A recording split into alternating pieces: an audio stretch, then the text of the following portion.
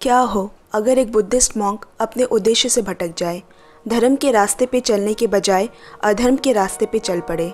आज की कहानी भी ऐसे ही मॉन्क शिष्य की है, जो एक लड़की से आकर्षित होकर स्पिरिचुअल रास्ते से भटक कर सेक्शुअल रास्ते पर चला जाता है। आखिर इसका अंजाम क्या होगा?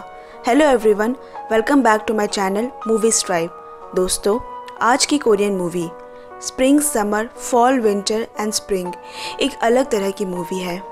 जिसके जितनी गहराई में जाएँगे, उतना ही खूबसूरत इसे पाएँगे। मूवी के डायरेक्टर किम की डुक और आई एम रेटिंग एट है। तो वीडियो को शुरू करते हैं, कहानी को एंजॉय कीजिए और फ्रेंड्स हमारे एक्सप्लेनेशन आपको अच्छे लगते हैं तो आगे बढ़ने से पहले प्लीज़ प्लीज़ सब्सक्राइब करना ताकि हमें भी मोटिवेशन मिले और आपको एंटरटेन करते रहे। साउथ कोरिया नॉर्थ योंगसंग के घने जंगल और पहाड़ों में बसा एक कुदरती तालाब और उसके ठीक बीचों बीच तैरता बुद्धिस्ट मॉनेस्ट्री जिसमें रहते हैं एक गुरु और उसका शिष्य। इस मॉनेस्ट्री में दाखिल होने के लिए एक बड़े से लकड़ी के दरवाजे से होकर गुजरना पड़ता है, जो किसी का रास्ता नहीं रोकती। और हैरान की बात है कि इस दरवाजे के इर्द गिर्द कोई दीवार ही नहीं है। फिर भी सब इसी दरवाजे से ही आना जाना करते हैं। कहानी शुरू होती है स्प्रिंग सीज़न से, यानी वसंत ऋतु। हर दिन की तरह गुरु पहले उठा, बुद्ध की मूर्ति को प्रणाम किया और फिर अपने शिष्य को उठाया। यहाँ कमरे के अंदर भी बस दरवाज़ा बना हुआ है, बिना किसी दीवार के। दोनों तैयार होकर एक छोटी सी नाव में किनारे तक जाते हैं। ये नाव उन्हें बाकी की दुनिया से जोड़ता है। नाव पे बोधिस्त्व ग्यूनियन की तस्वीर बनी होती है। ये नाव ही बाहर की दुनिया में आने जाने का एकमात्र साधन है। उस बड़े लकड़ी के दरवाजे के पास उतरकर गुरु भिक्षा मांगने और शिष्य जड़ी बूटी इकट्ठा करने चला गया। कुछ समय बाद दोनों वापस लौटे। फिर लाए गए जड़ी बूटी में से गुरु उसे सही और जहरीली पत्तों के बीच फ़र्क करना सिखाता है, जो बिल्कुल एक जैसे दिखते हैं। उस छोटे शिष्य का एक पेट डॉग होता है, जिसके साथ वो सारा दिन खेलता है। एक दिन शिष्य अकेले नाव लेकर किनारे पे गया और एक एक कर छोटी मछली, मेंढक और सांप को पत्थर से बंधे धागे से बाँध देता है। उनकी तकलीफ़ देखकर उसे बड़ा मज़ा आता है, जैसे ये उसका नया मनोरंजन हो। लेकिन ये सब करते हुए उसका गुरु देख रहा होता है। लेकिन नाव के बिना वो वहाँ तक पहुँचे कैसे? वापसी में गुरु एक बड़ा पत्थर अपने साथ ले जाता है। अगली सुबह बच्चे की पीठ पर वही बड़ा पत्थर बंधा होता है, जिससे उसको चलने में काफ़ी तकलीफ़ होती है। वो गुरु से उसे खोल देने को कहता है। तब गुरु ने कहा, तुमने सोचा था उन जीवों की तकलीफ़ के बारे में, तुम्हें पहले उन सबको आज़ाद करना होगा। और अगर कोई मर गया तो उसके दुख का भार तुम्हें उम्र भर अपने मन में लिए रहना होगा। वो वापस वहाँ गया, लेकिन सिर्फ़ मेंढक को ही बचा पाया। बाकियों को आज़ाद करने से पहले ही मर चुके होते हैं। उन्हें मरा देख वो बहुत रोने लगा। पहली बार उसने दुख को महसूस किया था। स्प्रिंग के बाद अब समर सीज़न दिखाता है। दरवाज़ा खुलता है। बच्चे से अब वो शिष्य, जवान हो गया है। जंगल में दो सांपों को संभोग करते देख उसके मन में भी इच्छाएँ पनपने लगती हैं। फिर वो उसी बुद्ध मूर्ति के ऊंचाई पर खड़ा होकर दूर दूर तक देखता है। बचपन में और अभी में उसके देखने का दायरा और बड़ा हो गया है। उनके यहाँ उसी के हम उम्र की एक लड़की अपनी माँ के साथ इलाज करवाने आती है। इस बार उनके आँगन में डॉग नहीं, बल्कि एक मुर्गा दिखाई देता है। रात में सोते हुए वो उस लड़की को देखता है। अगली सुबह गुरु उस लड़की की माँ को यकीन दिलाता है कि वो जल्द ठीक हो जाएगी। उसकी माँ कुछ दिनों के लिए उसे वहाँ छोड़कर चली जाती है। शिष्य धीरे धीरे उसकी तरफ़ आकर्षित होने लगा। उसे छुप छुप कर देखता, उसने इससे पहले कभी किसी लड़की को नहीं देखा था। एक रात, जब लड़की सो रही होती है, उसने उसे छूने की कोशिश की तो लड़की ने उसे थप्पड़ मारा। घबरा कर वो बुद्ध भगवान से माफ़ी मांगने लगा। फिर लड़की उसके कंधे पे हाथ फेरती है। गुरु लड़की को जंगल से लाए, जड़ी बूटियों का रस निकालकर पीने देता है। थोड़े दिनों में असर होने लगा और लड़की ठीक होने लगी। धीरे धीरे खुलने और हंसने बोलने लगी। दोनों साथ जंगल घूमने निकलते, शिष्य उसे पीछे से निहारता रहता, उसके पास जाने की कोशिश करता। रात रात भर नहीं सोकर बस लड़की की तरफ़ ताका झाकी करता। दोनों बहुत ही घुल मिल गए। एक दिन तेज़ बारिश हो रही थी। शिष्य से रहा नहीं गया और दोनों इंटीमेट हो गए। गुरु की आँखों में धूल झोंक कर दोनों एक साथ सोते। एक रात दोनों चुपके से नाव पे दूर निकल गए और नाव पर ही इंटीमेट हो गए। अगली सुबह गुरु नाव में दोनों को बिना कपड़ों में एक साथ सोते हुए देख लेते हैं। गुरु कोई रिएक्शन नहीं देता, लेकिन उन्हें पता है, किसी को पाने की इच्छा से लोग उस इंसान पे अपना अधिकार चाहते हैं, जो आगे जाकर दुख का कारण बनती है। उसके बाद गुरु नाव में पानी निकलने वाली जगह को खोल देता है। धीरे धीरे नाव में पानी भरने लगा। दोनों जाग गए। शिष्य गुरु से माफ़ी मांगने लगा, जिस पे गुरु ने कहा, दोनों की गलती नहीं, पर दोनों को यहीं रुकना होगा। कुछ समय बाद गुरु ने लड़की से पूछा, क्या अब वो बिल्कुल ठीक हो चुकी है? वो हाँ कहती है। फिर वो उसे यहाँ से जाने को कहता है। पर शिष्य आपे से बाहर हो गया और उसे जाने से रोकने लगा। गुरु तुरंत लड़की को नाव से उस पार छोड़ आता है। ये शक्ति भले ही अभी शिष्य को गलत लग रही हो, पर उसे सही रास्ते पर लाने का यही एक रास्ता था। पूरी रात शिष्य सो नहीं पाया। भोर होते ही उसने बुद्ध की मूर्ति को झोले में भरा और वहाँ से चला गया। गुरु जगह रहने पे भी उसे नहीं रोकते, क्योंकि हर इंसान अपना रास्ता खुद चुनता है। अब पतझड़, यानी ऑटम सीज़न में बड़े दरवाजे को दोबारा खुलता हुआ दिखाता है। गुरु बूढ़ा हो चुका है और इस बार उनके पास बिल्ली होती है। हमेशा की तरह भिक्षा मांग के गुरु वापस आया। उसने खाने की कागज़ पे एक खबर देखी कि तीस साल के आदमी ने पत्नी का कत्ल कर फरार हो गया। दरअसल, ये वही शिष्य होता है। उस रात वो उसके लिए कपड़े सिलता है, क्योंकि वो जानता है, अब उसके वापसी का वक्त हो चुका है। ठीक अगली सुबह उसे शिष्य दरवाजे पे खड़ा देखा। फिर गुरु उसे नाव से लेने गए। शिष्य गुरु से अपनी नज़रें चुराता है। उसने वापस से बुद्ध की मूर्ति उसी जगह स्थापित किया और उस चाकू को, जिससे उसने अपनी पत्नी को मारा था, गुस्से से ज़मीन पे बार बार वार करता है।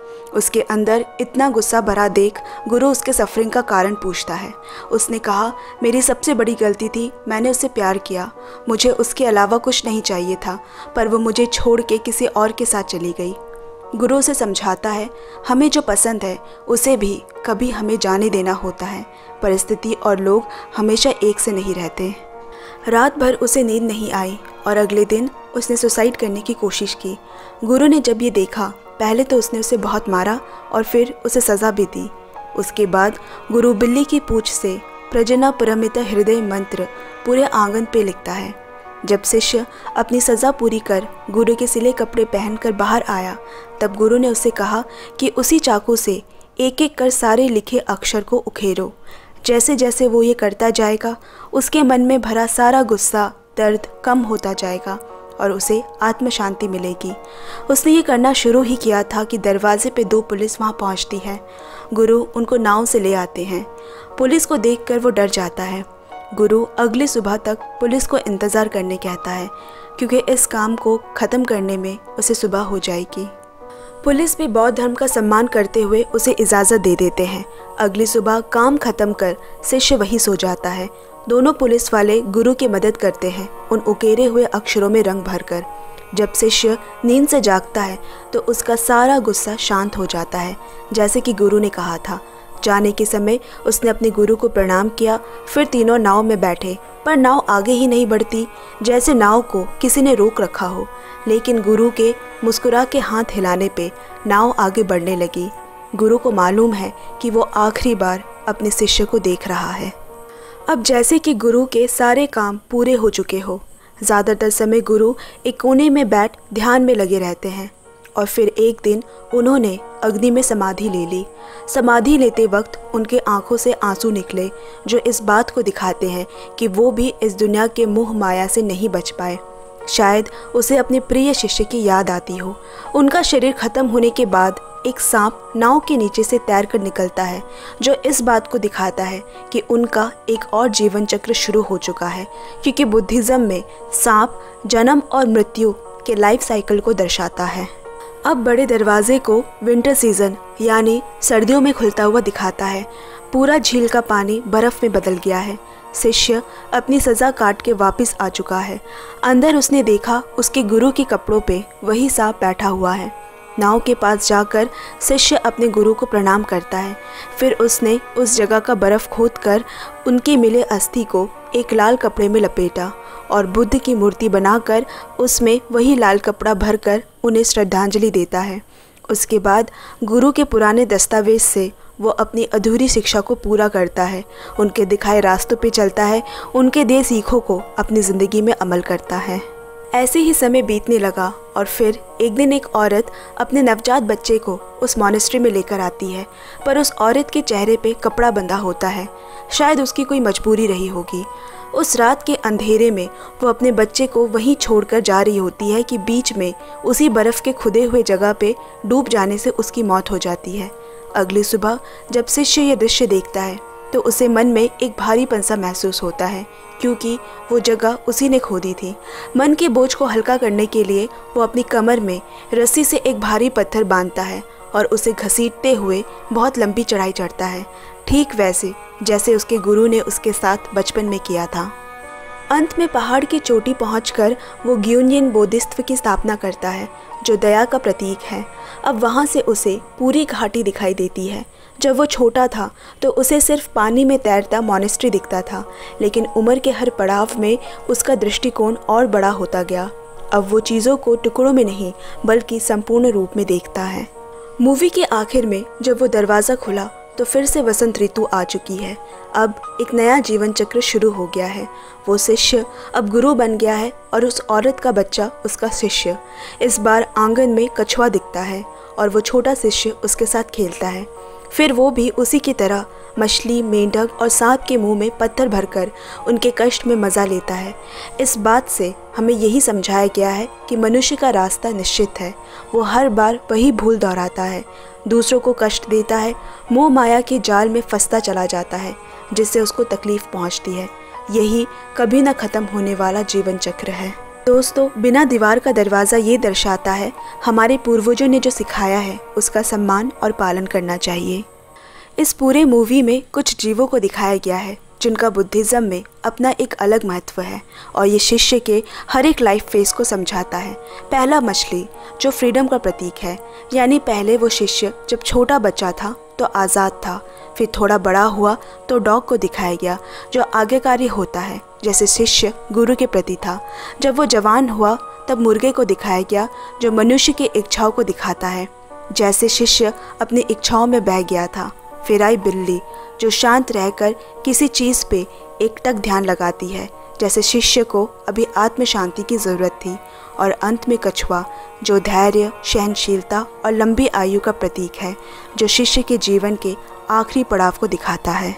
और अंत में वो मोनेस्ट्री एक बॉडी है, झील का पानी एक स्पिरिचुअल माइंड है और वो नाव एक मीडियम है जो हमें बाहर की दुनिया से रूबरू करवाते हैं।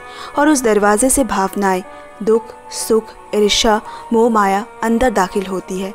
लेकिन हम कितना उससे प्रभावित होते हैं, खुद को कितना सही रास्ते पर रख सकते हैं, यही हमारा सफ़र है। दोस्तों, आज की एक्सप्लेनेशन आपको कैसी लगी? कमेंट में ज़रूर शेयर करें और चैनल को भी पक्का सब्सक्राइब कर ले। आपसे जल्द मिलते हैं अगले वीडियो में। Bye bye love you and take care friends